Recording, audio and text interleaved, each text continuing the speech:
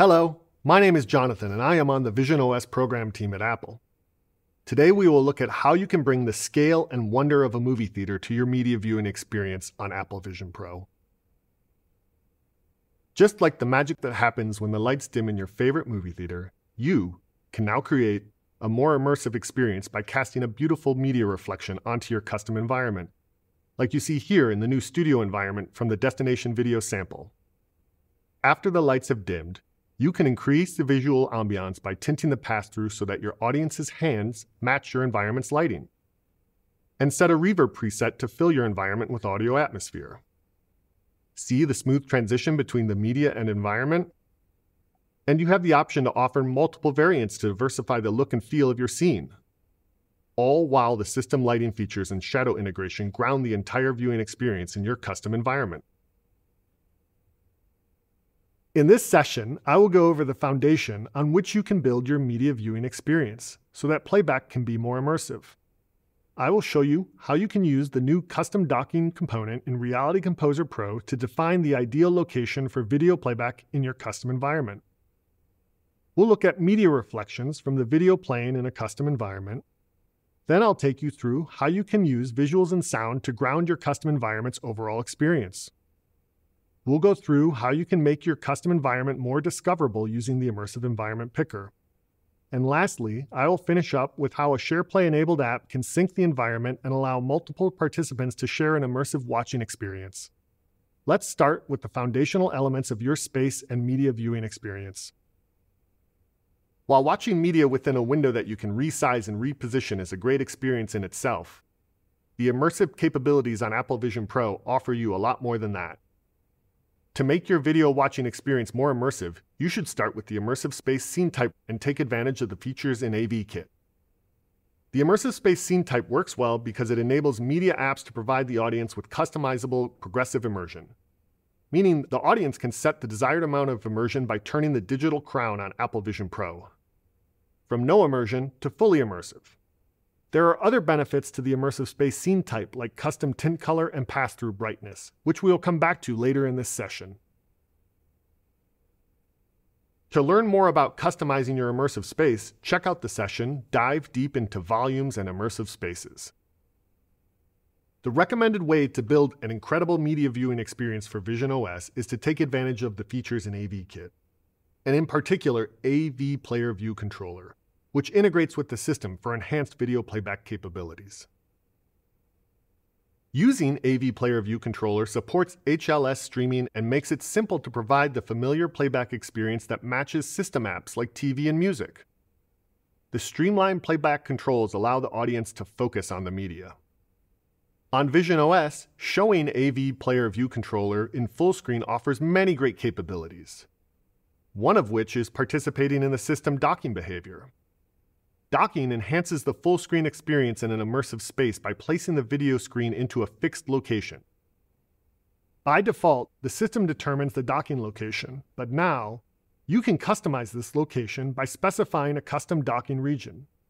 You can see the use of a custom docking region in the Destination Video sample, which is built with the AV Kit and Immersive Space Foundation.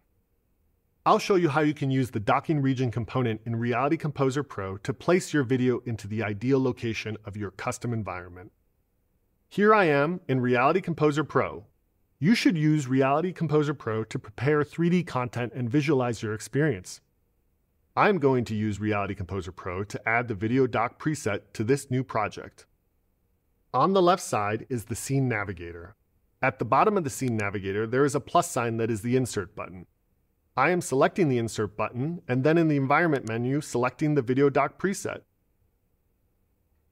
I can see a part of the Video Dock preset in the viewport now. The viewport allows me to visualize, navigate through, and preview the 3D scene. I am using Frame Scene in the viewport menu so I can better see the whole Video Dock preset. Back in the Scene Navigator, I am expanding the Video Dock entity to see that it contains a player entity. When I select the player entity, I have new properties available on the right side in the inspector. The inspector provides an easy way to edit the properties of my player entity, such as the position and rotation. The inspector for the player entity also contains a docking region component at the bottom. This lets me customize my docking region. Before I customize my docking region, I am selecting Reset Camera in the Viewport menu. This moves the camera so that I can see the origin. The immersive space is a scene, so it implicitly defines its own coordinate system. Everything that you place in a space is positioned relative to the space's origin. And the origin of a space is below the audience, close to their feet when the space is first open. In the center of the viewport, I can see the docking region. The position of the docking region determines the location of the video player. So I want to position my docking region relative to the origin. Back in the inspector, I can see the width property in the docking region component. The width of the docking region defines a bounding region that is the maximum size for media playback using a 2.4 to 1 aspect ratio. Videos that are larger than the maximum width will be scaled to fit within the bounding region. I can change the width property to customize my docking region size. As you can see, when I change the docking region's width, the height follows. So now that my docking region has more width and height, I need to raise my player entity. I am changing the position transform to raise it. The player feels good slightly above the ground, like the screen in a movie theater. This is just the start of a project. Let's check out something more complete. In the destination video sample, you will see there is a folder named Studio with a Reality Composer Pro project inside. I am opening the Studio project to view its setup and selecting Reset Camera in the Viewport menu so that I can preview. You can see how the docking region in the studio is positioned so that there are minimal objects between an audience and the media playback. The intention is to provide the audience with a clear view. The studio has a sense of symmetry and an architectural thinking for why the docking region belongs at this location in the space. The placement is meant to celebrate the space, make the media playback fit the room, and provide a more immersive experience. Make sure your custom environment is designed to accommodate the docking region. We recommend providing a comfortable viewing angle to avoid causing strain or discomfort during longer viewing sessions. Using Reality Composer Pro is a helpful preview, but be sure to review your environment and docking placement on Apple Vision Pro. The perception of scale and layout can be quite different between a monitor and Apple Vision Pro, and nothing beats testing on device. Now that I have my docking region in the ideal location, let's look at how video playback can reflect onto a custom environment. Back in Destination Video, the media reflections on the studio surfaces help to show where media is playing at and grounded in this space. You can make your media reflections fit your custom environment, and it will help your audience understand where the video is playing at in your virtual space. There are two kinds of media reflection in Reality Composer Pro's shader graph nodes reflection specular, and reflection diffuse. The reflections create interactions between the media content and the virtual space that increase the sense of realism and immersion. Use these reflections as depth cues so your audience can understand where the screen is at in your custom environment. This helps to bring focus to your video playback. Specular reflections provide direct reflections of the video content, useful for very glossy surfaces like metals, mirrors, and water. To set up specular media reflection, all that is needed is an entity in your scene with a docking region component and a material on a surface with the reflection specular node connected. Reality Kit will use the docking region location and the ground's texture coordinates to compute the reflection and render the reflected media onto your surface. Diffuse reflections provide a softer falloff of video content, useful for rougher, more organic surfaces like a wooden floor or concrete. The implementation provided in the video dock preset is just an example. If you move the docking region, ground entity, or use your own mesh, then you will need to recompute texture coordinates for reflection diffuse and import that data into Reality Composer Pro. The studio uses diffuse reflections because the softer falloff is a better fit for the floor material properties. Specular reflection is included in the studio just for demonstration purposes. You should check out the Vision OS system environments for examples that integrate reflections in a more balanced way, that complement the media and the environment without being a distraction. There's a lot more to learn, so I recommend checking out the destination video sample and supporting materials that go deeper on how to enable specular reflections and configure diffuse reflections. Next, let's look at how you can use visuals and sound to ground your custom environment's overall experience. We will use some new features such as the Virtual Environment Probe, Brightness and Tint, and Reverb. Let's start with the Virtual Environment Probe. The Virtual Environment Probe describes a location in terms of the color, variation, and illumination intensity. The system can use this information to automatically shade any physically based rendering material and closely approximates the way light bounces off objects. You can use the probe to provide environment lighting for objects in your immersive space. And if you are creating an environment using the progressive immersion style, this virtual environment lighting will gradually replace your real world lighting for objects outside of the immersive space. For example, this metallic sphere is reflecting a mix of the studio and my real world surroundings. The effect is a realistic object that looks natural in progressive immersion. And if your scene supports two variants, like Destination Video's Dark and Light Studio, you can configure a virtual environment probe with two pre-generated environment resources and a blend factor between them. In this case, your app code drives a smooth transition between the dark and light resources, while the system drives the immersion blending. It's best to keep the transition brief. In the Vision OS system environments, the dark to light transition is one and a half seconds long. Next up, brightness and tint. Depending on the look of your custom environment, you may want the lighting on your audience's hands to blend well with your environment lighting, like when the lights dim in a movie theater.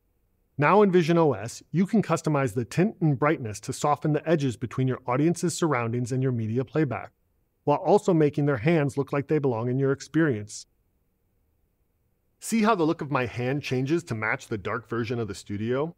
This helps me feel more immersed in the custom environment and focus on the viewing experience.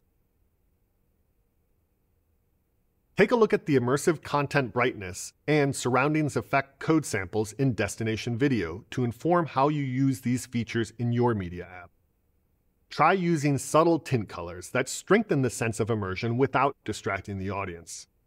While these improved visuals make your environment look nice already, you can also use the new Reverb component in Reality Composer Pro to make your authored spatial sounds and the system sounds all better match your custom environment, which further increases immersion. In the real world, sound reverberates, bouncing off walls and furniture before arriving at a person's ears. By default, Vision OS reverberates spatial audio sources by simulating the acoustics of a person's real world environment. Reverberation can also be simulated for a virtual environment.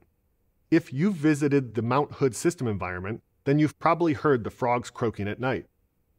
Those spatial sounds have reverb, which simulates an outdoor environment. Now you can apply reverberation to spatial and system sounds in your custom environment. To enable reverb, I am using the Add Component button in the inspector to add the reverb component to my new project. Then I can go to the inspector and select the reverb preset that best fits. The presets are a curated set of high quality naturalistic reverb settings that add resonation and simulate the experience of hearing spatial sounds in an environment that's similar to my own custom environment. It's recommended to select a reverb preset in your custom environment even if it doesn't provide custom audio, so that the system can use the preset to spatialize system sounds like UI and buttons. These system sounds are spatial audio sources present at runtime. For example, use the medium room treated preset to add an optimal listening experience with a subtle reverb applied. Or if your custom environment is an outdoor space, then use the outdoor preset. Or go big if you have a large indoor environment and use the very large room reverb preset. This is the preset used in the studio. For more details on how to implement and tune your reverb, see the Reality Kit audio session titled Enhance Your Spatial Computing App with Reality Kit Audio. Now that you have learned how to enhance the immersion of media playback in a custom environment, you can take advantage of the Immersive Environment Picker to make your custom environment appear in the same list as the Vision OS system environments. Let's take a closer look. See how the Immersive Environment Picker now includes a new section for destination video with our studio environment? Selecting the studio opens the environment and docks the media into its docking region. You can add your custom environments to this list as well. Simply declare your custom environment by describing it with metadata, like a title and image, and let your audience discover your environment when they go to dock. Use the Immersive Environment Picker modifier on a view to add your immersive environments to video players inside that view. There you can declare how each of your custom environments will appear in the picker. For each environment, include a title, image, and the immersive space to open when it's selected. Let's talk about SharePlay. If you are already using SharePlay to sync media, now AVKit brings synchronization of the environment state as well allowing people to further share an immersive watching experience. Let's see how that works. This code snippet uses a group session to synchronize shareable content between devices. To sync media on the session, pass it to the AV player's AV playback coordinator. To sync viewing environment on the same session, first import both AVKit and group activities, and then pass the session to the AV player view controller's AV Group Experience Coordinator. Now, when the activity participants watch full screen, they can share the same viewing environment. You've just learned how to use the Immersive Space Scene Type and AV Kit as the foundation for your playback experience, and how you can enhance the immersion with a custom docking region and media reflections. Then ground the experience with Virtual Environment Probe, Reverb, Brightness, and Tint. Using these features to increase immersion will help your audience feel like they are present in your space, for the sake of believing in it and enjoying the experience you want to give them. Remember to give your audience a clear and comfortable view of your media without distractions so that they can focus on the experience. We also showed how to get started with the Immersive Environment Picker and SharePlay. I hope this session has been a helpful primer in how to make your media playback experience more immersive be sure to take a deeper dive into the destination video sample and the multiple sessions available. I can't wait for the immersive experience of watching media playback in the custom environments you build.